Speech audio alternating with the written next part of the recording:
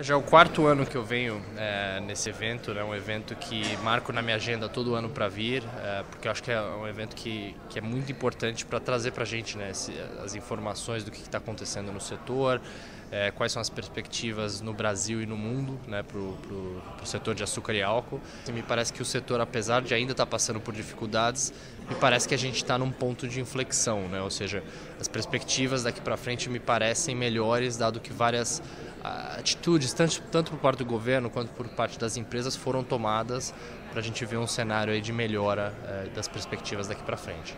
Eu, a gente consegue ver é, diferentes opiniões, diferentes temas. Né? A apresentação sobre América Central hoje foi bastante interessante para trazer uh, uma visão de um, de um, né, de um setor, de, de uma região que está crescendo muito a produção e que, em geral, a gente não tem muito acesso à informação. Né? Uh, então, acho que esse, esse, uh, esse debate, né, juntando gente do mundo inteiro, pessoas da Índia, da Colômbia, uh, dos Estados Unidos, Brasil, né, acho que isso é bastante valioso para o nosso trabalho como analista, né, para ver quais são as tendências e cenários e projetar daqui para os próximos anos.